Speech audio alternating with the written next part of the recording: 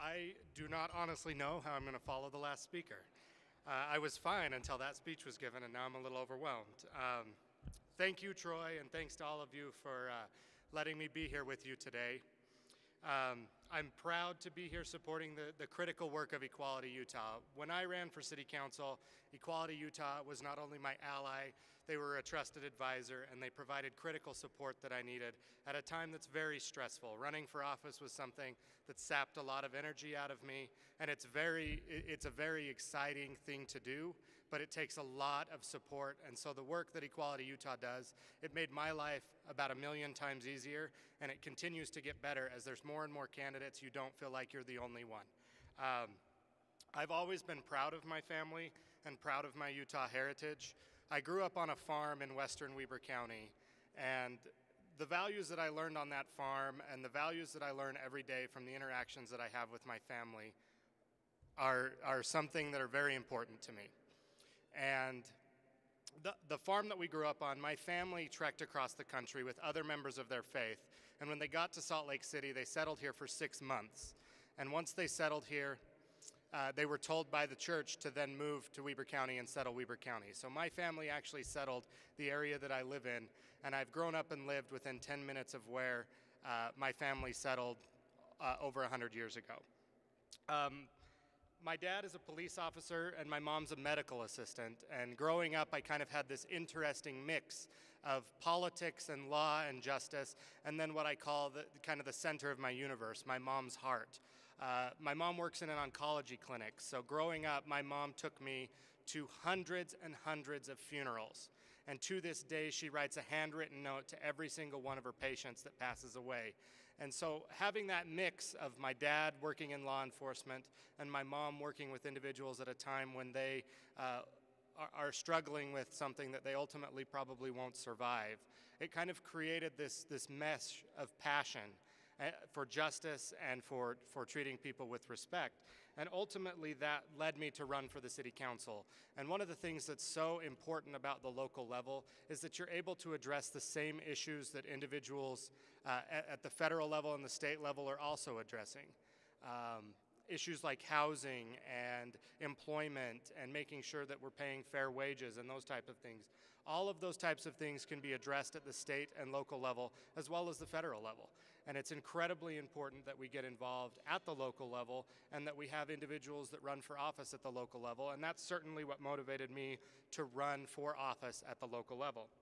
Um, I campaigned really hard. I started in February. I got started early. I tried to finance myself really well. I ultimately outspent my opponent and outraised my opponent. But in the end, I lost. And it wasn't a, a, a, loss that stings because I lost. It was that I lost by 118 votes. And so you spend the I've spent the last two years kind of racking my brain. You know, what could I have done more of? What could I have done? You know, to to win. And ultimately, the lesson isn't that you lost. It's that you need to get involved again and again and again. You can't get beat and sit down. You have to stay engaged and stay involved. And I think that's the overwhelming legacy of what we have to do today is we are so close to victory on LG issues. I mean, we've won marriage. We will soon win marriage nationwide, and now is the time to circle the wagons and focus on trans issues.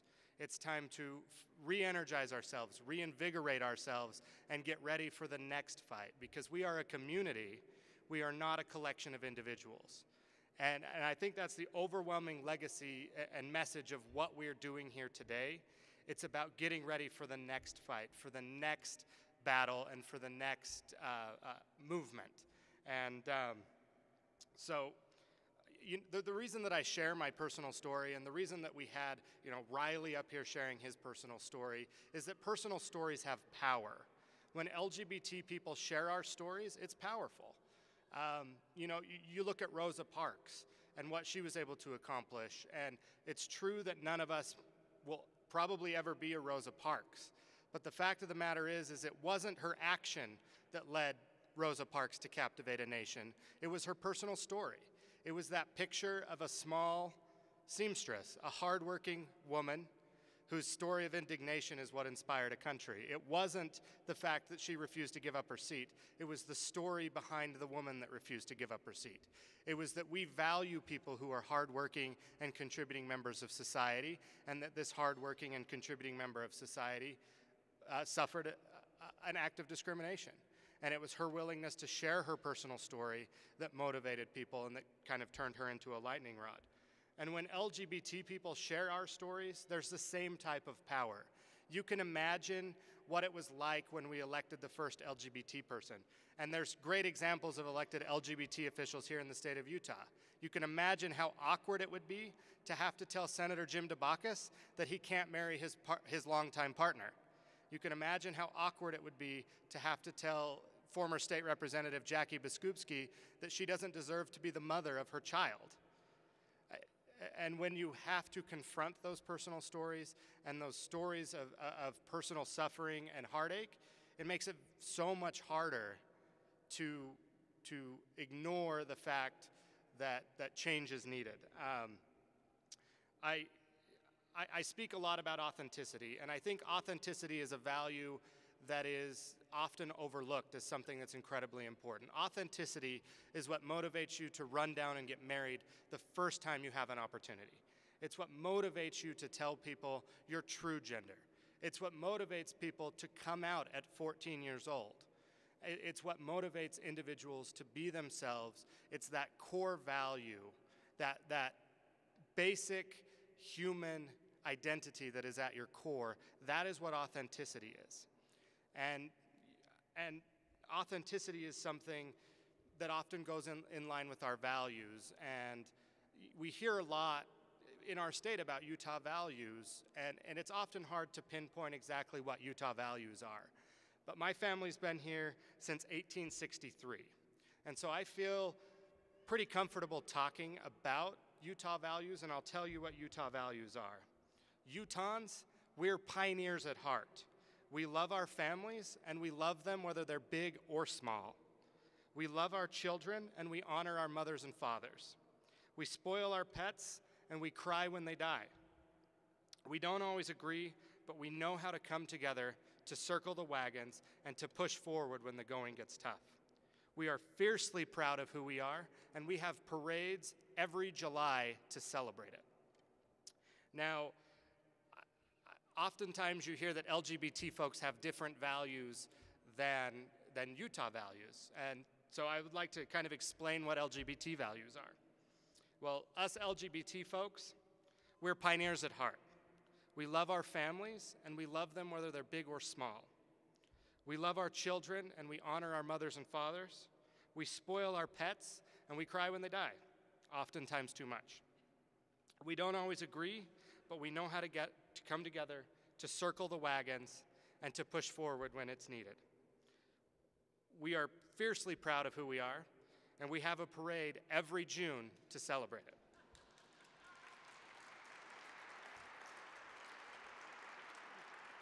Authenticity is a universal value. It holds the promise for a fairer and more just Utah. It is something that cannot be weighed, and it doesn't shine in spotlights and it doesn't carry the fanfare of fame. At its core, it is what today is about. Now is the time for all of us to remain authentic. Uh, authentic. We cannot let our successes define our movement moving forward. We have to focus on what unites us, on our authentic identities. We cannot fall into old habits of us versus them.